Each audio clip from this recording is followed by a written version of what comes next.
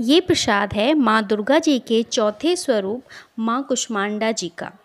तो चलिए इसे बनाना स्टार्ट करते हैं। तो सबसे पहले लेंगे हम एक मिक्सिंग बाउल जिसके अंदर हम सारे अपने इंग्रेडिएंट्स को मिक्स करेंगे। तो चलिए तो सबसे पहले हम डालते हैं थोड़े से ड्राई फ्रूट्स ड्राई फ्रूट्स में आप अपनी पसंद से कुछ भी डाल सकते हैं, जो आपको पसंद हो, जो आप माता जी को भोग लगाना चाहते हों, वो सारे पसंद के आप ड्राई फ्रूट्स डाल सकते हैं। और इसमें मैंने थोड़ी सी क्रश इलायची भी डाली है इसके साथ में। ये यहाँ पर मैंने लिया है एक से डेढ़ चम्मच नारियल का बुरादा या फिर जो सूखा नारियल का पाउडर होता है, वो हमने, मैंने लिया है ये। अब इसके बाद हम मिक्स करने वाले हैं एक से डेढ़ चम्मच ही मिल्क पाउडर। मिल्क पाउडर डालने से इसमें बहुत ही अच्छा एक क्रीमी फ्लेवर आता है। तो अभी फ़िलहाल हम ये तीन चीज़ें डालते हैं और इसे अभी मिक्स कर लेते हैं। तो ड्राई फ्रूट्स हैं, थोड़े से दो तीन चम्मच हमारे पास घिसा हुआ नारियल, या ड्राई कोकोनट है और है हमारे पास मिल्क पाउडर अब ये है हमारे पास फलहारी आटा, जो सब जगह मिल जाता है। आसानी से व्रत के दिनों में तो और नवरात्रों में तो ये बहुत इजीली मिल जाता है। तो यहाँ मैंने एक कटोरी डाला है मैंने ये फलहारी आटा। अब सारे जो सूखे जो इंग्रेडिएंट्स जो मैंने लिए हैं उन सबको अच्छे से मिक्स कर लेते हैं घुमा के इन्हें अच्छे से आ, मिला देते हैं।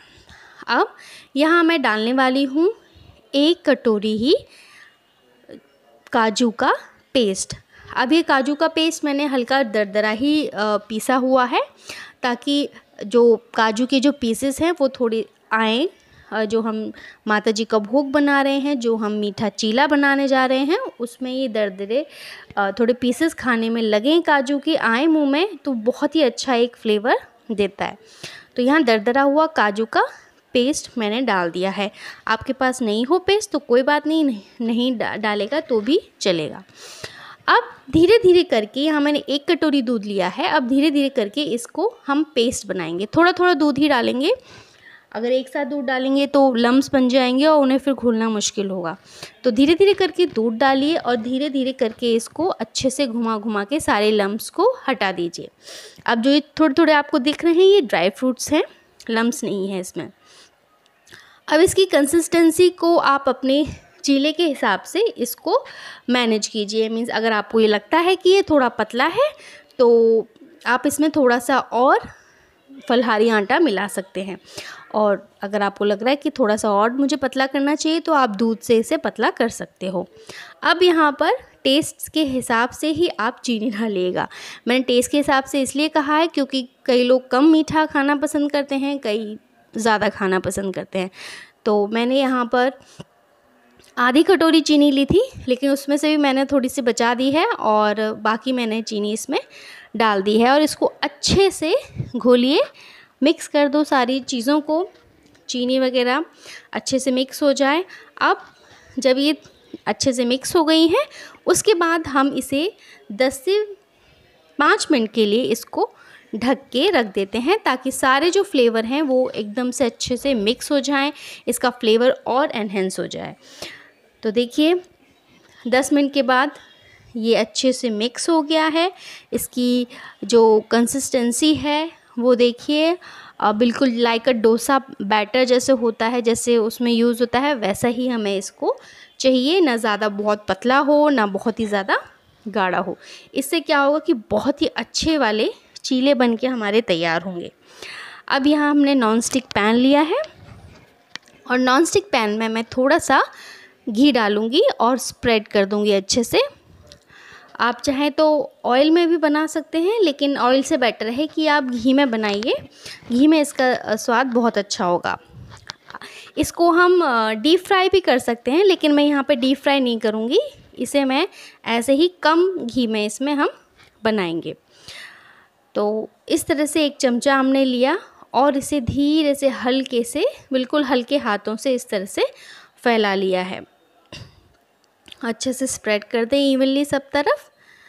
और जब ये स्प्रेड हो जाएगा, उसके बाद इसको मीडियम गैस पे ही रखना है। बहुत तेज़ नहीं रखना है और बहुत स्लो पे भी नहीं रखना है। अब इसे ढक के रख देंगे एक मिनट के लिए। एक मिनट आप ढक के रखेंगे, इससे क्या होगा? ऊपर से भी पक जाएगा हल्का सा और नीचे से भी हो जाएगा। ये देखिए, ऊपर से इस तरह से बहुत अच्छे से पक चुका है। अब इसे फ्लिप करें और इसको प्रेस कर करके इस तरह से सेकिए।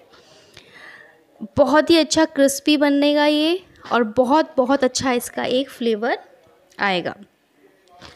अब देखिए मैं दूसरा एक बार फिर से बना के आपको दिखा रही हूँ। तो ये डालिए एक चमचा और इस तरह से हल्के हाथों से उसको वापस से फैला लीजिए।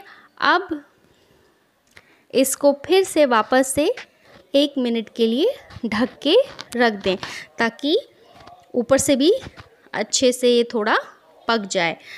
और इससे देखिए पक गया है ऊपर से। अब इसको फ्लिप कर दीजिए। पीछे से देखिए अच्छा सा एकदम आ, अच्छे कलर से पक चुका है। अब इस तरह से ही प्रेस कर करके इसको हम इस साइड से भी अच्छे से सेक लेंगे। ये बहुत बहुत टेस्टी लगते हैं। बनाने में बहुत आसान है बहुत क्रिस्पी होते हैं। ये देखिए, हमारे चीले माँ कुष्मांडा जी का भोग तैयार है। आप इसे बनाएँ उस दिन, माँ को भोग लगाएँ, आप भी खाएँ। यकीनन ये आपको बहुत पसंद आने वाला है, बहुत टेस्टी लगेगा या ये आपको। तो एक बार ज़रूर इसे ट्राई करें। वीडियो देखने के लिए थैंक यू सो मच।